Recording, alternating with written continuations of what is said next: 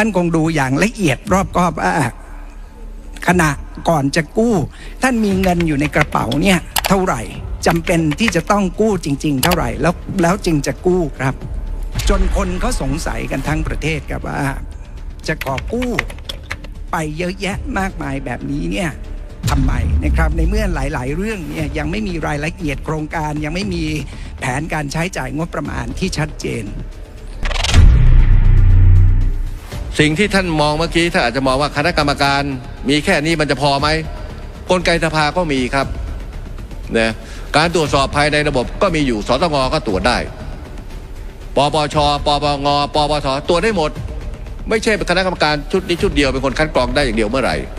แล้วก่อนเสนอโครงการขึ้นมาผมเรียนท่านไว้เลยนะครับ ก่อนจะเสนอโครงการขึ้นมาผ่านถึงคัดกรอง ต้องผ่านกลไกของพื้นที่มา ต้องผ่านกรจมา ไม่ใช่ใครเสนอโครงการอะไรมาก็ได้ หรือนอกกรอบที่กำหนดไว้สามสี่อย่างนั้นก็ได้ไม่ใช่ครับ ต้องเสนอเข้ามาแล้วในกรอบวงเงินนี้จะต้องตั้งกล่องเอาไว้ว่า มันจะควรจะมีแต่ละประเภทสักเท่าไหร่นะครับ เราได้คิดเรื่องต่างๆเหล่านี้ไว้แล้วนะครับ